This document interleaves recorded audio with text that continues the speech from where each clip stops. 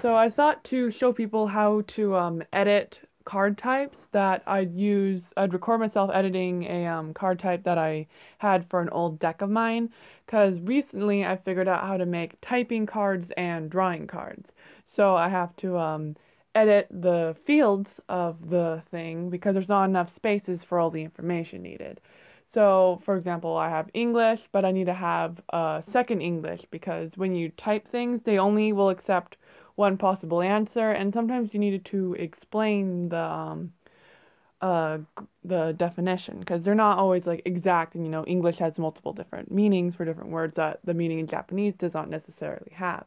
So I needed to make an extra tab for um, that information. After that, I um organized like checking the field types with the um, Google Sheets that I have, and I noticed that um I didn't have a page number um, field type. Instead, I had a thing called picture, which was there because I was confused about how to add pictures into um, fields because this was like when I was a, uh, one of my first decks. So I just renamed picture as page number.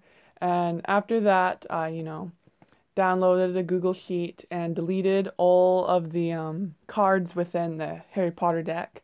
And then I imported those cards um, and set it to the Harry Potter card type for the Harry Potter card deck. And then they're all inputted in there.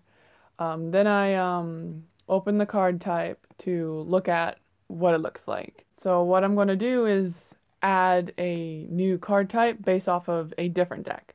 So I have um, my Clannad deck, which is my newest deck. So I go over to the um, first set of typing, which is the typing the English answer, and I copy everything inside the um, text field to then paste within a new deck. So you go over to the top of the card thing and click um, add card and it remakes a um, card and you, it's good to rename these cards so that you can quickly identify what card it is. So I called it type English because you're typing English. And I basically deleted what's in that um, in the front template and pasted everything in the old template and then deleted and edited the some things and edited stuff so that um for example, the different fields in the different decks do have different names due to being adapted from different, you know, sources. Like, for example, I have Kanfuri as the kanji and furigana rather than reading as that, while reading is the one for the furigana sentence that I have for this deck. That's, so, they have different um, read uh, titles, so you have to change those titles. Um, but then I'm going over and copying the bottom half of um, the type English to then paste in the bottom half of the type English card on the in the Harry Potter version. And now uh, oh, you have to for um, typing cards, the um, styling area also has a lot of information that is needed as well for this to work. So I um, pasted that information within the thing. Um, and now I'm looking through it to change the color of the text box because I thought pink looked very bad and I knew that was in the styling area. So it was under input type ins because you're typing in the answer and input means you're inputting things. Um, and I looked at background and had that random number which was the um, color number and I copied that color number to um, paste around and I um, filled with it. You can um, uh, use the Google to get different colors using the color picker because um, they give you the same number code that the Anki um, recognizes. So I filled with that a bit to um, get a color that I liked. Um, I also noticed that the um, incorrect answer, because that's the only answer you can see on um, the preview for typing decks, is the incorrect answer. And it was very hard to see the word example. So I went over and got a darker color for that. That makes it easier to see your incorrect answer. Um, and then I went over and, um, you know, changed some of the um, decks uh, field names so that it matches things correctly so that words will show up. So like philosopher wasn't there before, and I had to um change some of the text sizes so that they um look nice. And I copied and pasted things and moved things around to make things, you know, look nice. Um, cause you know that's how you make cards. You want them to look nice, so they're motivated. I don't know. That's just a me thing. Um, theoretically, all you have to do is what I just did a second ago, um, that's basically all you have to do to make typing cards is go through and change all the field types. Um, but I'm basically now um, editing things so they look nice because I like certain formats and I think it looks aesthetically pleasing. Um, and this is just me going through that um, for a bit. Um, now I've done that, I'm making a new card type, which is um, so when you make a new card type, it copies what you um, whatever card you're currently opened for the card type. So that's why I went over to the um, I went over to the first card type because there's less um, data in that first card type than the typing card type. The typing card type has a whole lot of data that I didn't really want. So um, I went to that one to du duplicate that card before editing it. This right here is for writing because I like doing a um, deck that does here's a note card and then a typing card, then a note card, then a typing card, then the drawing card, so that there's a steady progression of knowledge. Because I find um, furigana and the cards is best for learning the English meaning, while after you get the English meaning down, you probably kind of know the kanji and the reading together. So after that, then you have to figure out, do you know the reading? Which is what this card's for, is figuring out whether or not you know how to read the card. So I took off the furigana from both the example sentence and the kanji. And then I went over and made a new deck, which is going to be the typing version of that. So I went back to Clannad because it needs a different um, format for typing. I mean, it has different programming, whatever, and I don't really know how that works. So I copied that information and went over and, you know, changed the card type so that it matches. Um, and then that's all you have to do is for the card types. So for English typing and Japanese typing, they have different codes needed. Um, um, I think that it's not like a hundred percent different. The Japanese one makes it that if you're on the computer, that um, you, if you type with not in, without a Japanese keyboard, it automatically switches it to Japanese, which is the why you want to copy exactly what um, the thing says but um, theoretically you could probably just use the English typing for both and just change the word English into hiragana or whatever your field type is that you're um, copying it from.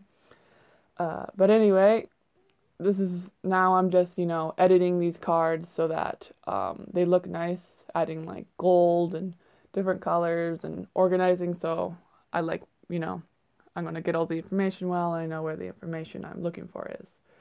Um, and once I'm done editing um, this card, I'm going to make the um, uh, uh, drawing card, which um, just saying in the description below, I do. I'm going to have um, quick links that show where that is.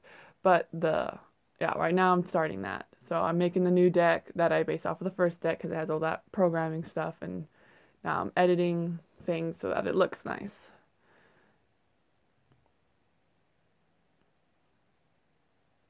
Like I noticed that um, I didn't have the page numbers anywhere on these cards, and I feel like that's kind of important. So I was thinking about where I was going to put them, and I decided, you know, the bottom is the best place to put it, and um, I figured out, you know, where the bottom is because it can get because it's before um, the script, but it's like after the second script. It can be kind of confusing to find um, where you're supposed to put information on the card, but um, it's pretty easy. Like the test, like you just like put in a number, like a letter, and it the, you look for the letter in the thing, and if everything glitches out, you delete that letter. It's kind of how um, it works. A lot of times things are um, spaced out so you can kind of like find stuff. If you see your field name, that's where your field name goes, and you can kind of ignore any other coding because who knows what that coding even does. Um, so now I'm copying the bottom part because I edited the top part and editing um, the field name types because they don't um, match what you know the new deck has because you know different decks use different names. Um, so guessing the size and stuff, and I'm basically done with the this um, card. Um, and now I'm just going through. I'm going to start. What am I doing? Oh. So I I was moving stuff around. I liked um, my last card I made better. So now I'm going through if you make like an error you have to um copy and paste from a different card because we're not programmers Otherwise, you wouldn't be on this video. So we don't really know what those codes are saying. So if you make a mistake in the code, um, you have to paste down the correct code and delete the bad code, which can be um, inconvenient because there isn't any back button in Anki. So rather than deleting things, it's why you always see me selecting stuff. I'm actually cutting things just in case I cut something wrong and I can just paste it back down. Um, so, yes. So now I'm basically just going through everything to make sure things look nice. I'm specifically I'm adding the Harry Potter Sorcerer's Stone page number um, thing to all the um, cards.